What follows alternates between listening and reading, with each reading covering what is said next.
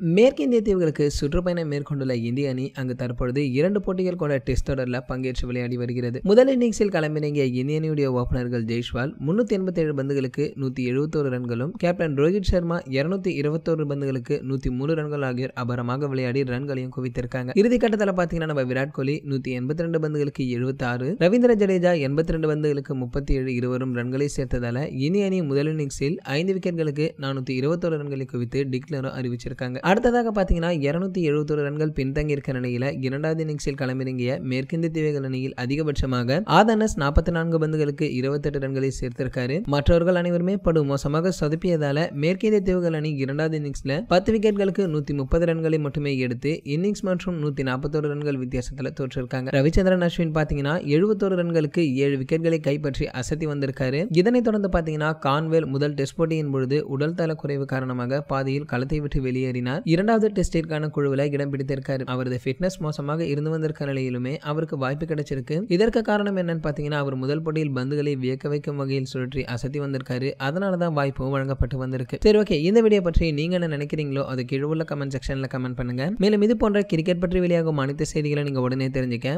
நம்மளுடைய cricket news update இன்னும் நம்ம சேனலை சப்ஸ்கிரைப் பண்ணிக்கங்க. மேலும் பக்கத்தில் உள்ள பெல் ஐக்கானை கிளிக் பண்ணிட்டீங்கன்னா நீங்க நம்ம வீடியோ மிஸ் பண்ணாம பார்க்கலாம்.